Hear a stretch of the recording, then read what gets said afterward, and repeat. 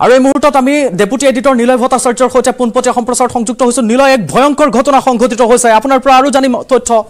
হয় কৃপাঞ্জল ডাঙৰ ঘটনা দিল্লীৰ পৰা ডাঙৰ ঘটনা সংসদৰ পৰা ডাঙৰ ঘটনা। সংসদত এই মুহূৰ্তত খোৱা দোৱা লাগিছে। গোটেই সাংসদ খালী কৰি দিয়া হৈছে।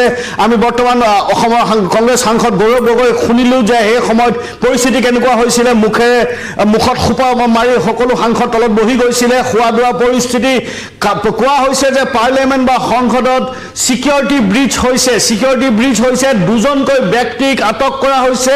সেই দুজন ব্যক্তি সেই সাংসদত কোনোবা এজন সাংসদৰ অতিথি হিচাপে আহিছিল আৰু হাতত কালাৰ বম আছিল বুলি কোৱা হৈছে। কেনিষ্টাৰ মানে এই থামছ আপ কককলৰ সৰু সৰু টেমা সদৃশ কেনিষ্টাৰ আছিলে আৰু সেই কেনিষ্টাৰৰ সৈতে দুজনক তাত বৰ্তমানলৈকে আটক কৰা হৈছে। আজি মন কৰিবলগীয়া কথা যে বাইছ বছৰ সাংসদ আক্ৰমণৰ বাইছ বছৰ পিছত আজি আজিৰ দিনটোতে আকৌ এই সাংসদত নতুনকৈ ভাবুকি দেখা গৈছে।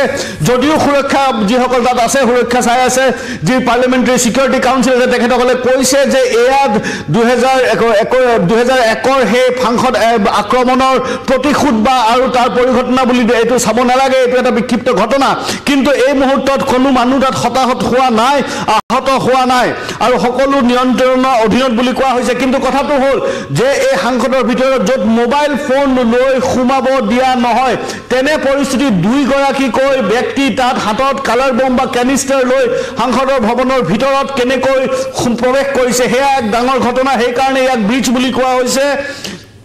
ভিতৰত এতিয়া বৰ্তমান সাংসদসকলে শ্লোগান শ্লোগানিং কৰিছে তেখেতসকলে দাবী কৰিছে যে এই গোটেই ঘটনাটোক ভালকৈ তদন্ত কৰিব লাগে যে এনেকুৱা এটা পৰিস্থিতি কেনেকৈ হ'ব পাৰে য'ত দুহেজাৰ একত এনেকুৱা এটা ঘটনা ঘটিছিল তাৰপিছত বহু কমিটি হ'ল বহু কাউন্সিল বনোৱা হ'ল এই সাংসদৰ যি সুৰক্ষা সেই সুৰক্ষা আৰু কটকটীয়া কৰা হ'ল টু টায়াৰ ছিষ্টেম তাত আপোনাৰ টু টায়াৰ ফ্ৰিস্কিং ছিষ্টেম মানে যদি সাংসদ ভৱনত যদি কোনোবা মানুহ সোমায় তেতিয়াহ'লে দুবাৰকৈ তাত মানুহজনক ওপৰৰ পৰা তললৈ ফ্ৰিস্ক কৰা হয় বা চোৱা হয়।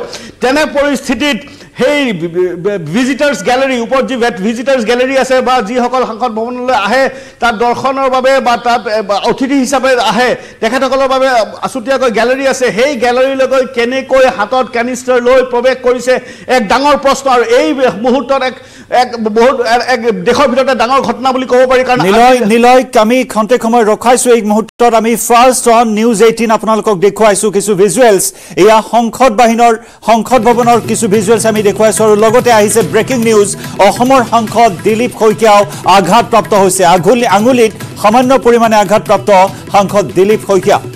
আমি পুনৰবাৰ জনাইছো আমাৰ অসমৰ সাংসদ দিলীপ শইকীয়া সামান্য আঘাতপ্ৰাপ্ত হৈছে। অসমৰ সাংসদ দিলীপ শইকীয়াই আঙুলিত আঘাত পোৱাৰ খবৰ আহিছে আমাৰ হাতলৈ। আঙুলিত আঘাত লাভ কৰিছে সাংসদ দিলীপ শইকীয়াই। এক প্ৰকাৰ হোৱা দোৱা পৰিস্থিতি এক প্ৰকাৰ হুলস্থুলীয়া পৰিস্থিতিৰ সৃষ্টি হৈছে আৰু তেনে সময়ছোৱাতে ইতিমধ্যেই আমাৰ ডেপুটি এডিটৰ নিলয় ভট্টাচাৰ্যই আমাক জনাইছে যে সাংসদসকলে তেনেদৰে তলত বহি দিছিল। প্ৰাণৰ মমতাত এক হোৱা দোৱা পৰিস্থিতিৰ সৃষ্টি হৈছিল সেই সময়ছোৱাত আৰু তেনে সময়তেই সাংসদ দিলীপ শইকীয়া আঘাতপ্ৰাপ্ত হৈছে। আমি সেই ভিজুৱেলছ এই মুহূৰ্তত আপোনালোকক দেখুৱাইছোঁ। দুজন লোক ভিতৰত এনেদৰে প্ৰৱেশ কৰাক লৈ এক অনাহুত স্বাভাৱিকতে এক সাংঘাতিক ধৰণৰ পৰিস্থিতিয়ে বিৰাজ কৰিছিল আৰু তেনে সময়তে অসমৰ সাংসদ দিলীপ শইকীয়াও আঘাতপ্ৰাপ্ত হোৱা বুলি জানিব পৰা হৈছে। কিছু সময় পূৰ্বে সাংসদ গৌৰৱ গগৈয়ে জনাইছিল সেই সময়খিনিত কেনেকুৱা ধৰণৰ এটা পৰিস্থিতিৰ সৃষ্টি হৈছিল সদনৰ মজিয়াত। দিলীপ শইকীয়া আঘাতপ্ৰাপ্ত হৈছে আঙুলিত আঘাতপ্ৰাপ্ত হৈছে। দিলীপ শইকীয়া আমি যোগাযোগ স্থাপন কৰিবলৈ চেষ্টা অব্যাহত ৰাখিছোঁ। অসমৰ কেইবাগৰাকীও সাংসদ আছে। অসমৰ সাংসদসকলৰ সৈতে আমি যোগাযোগ স্থাপনৰ চেষ্টা অব্যাহত ৰাখিছোঁ। কিন্তু এইখিনি মুহূৰ্তত আমি জনাইছোঁ দিলীপ শইকীয়াও আঘাতপ্ৰাপ্ত হৈছে।